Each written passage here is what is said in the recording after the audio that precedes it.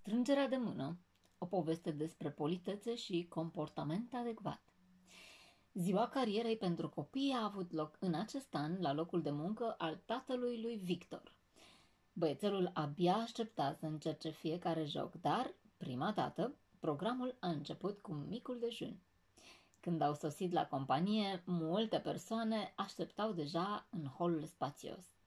Tata a dat mâna cu colegii săi, iar pe cei pe care nu îi cunoștea prea bine, i-a salutat doar de la distanță, dând din cap. Lui Victor se părea foarte amuzant acest lucru. Ești ca un porumbel, râse băiețelul. Se poate, zâmbi tata, dar salutul este important. Ar fi nepoliticos să nu salut atunci când intru într-o cameră. Dar de ce strângi mâna doar câteva persoane? întrebă Victor. Dau mâna cu oamenii cu care lucrez zilnic, care sunt mai aproape de mine. Nu mă pot strecura printre toți oamenii din cameră pentru a ajunge la cei care sunt mai departe de mine. Înțeleg. Datul din cap ca un porumbel este suficient pentru ei, râse Victor și apoi întrebă din nou. După ce se termină evenimentul, la plecare va trebui să ne salutăm mai întâi?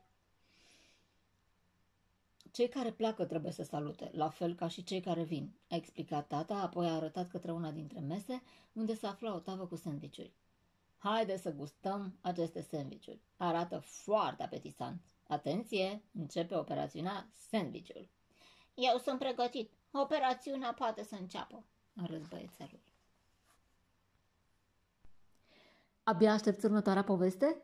Abonează-te la canalul de YouTube Totul este posibil pentru a primi o notificare când publicăm noile episoade. Noapte bună, copii!